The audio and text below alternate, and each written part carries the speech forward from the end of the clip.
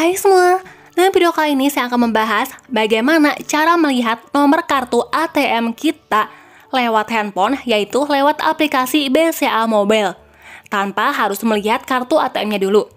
Kita klik menu MBCA di sebelah sini, dan kemudian kita akan dipinta untuk memasukkan kode akses yang biasanya terdiri dari campuran angka dan huruf.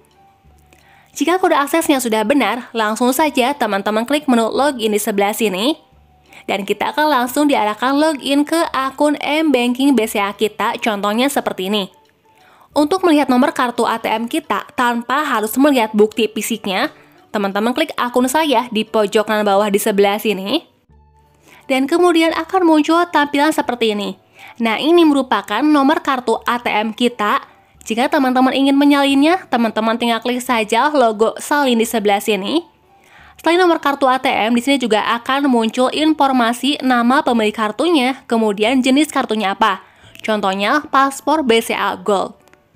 Nah itu teman-teman, bagaimana cara melihat nomor kartu ATM tanpa repot-repot membuka kartu ATM kita terlebih dahulu.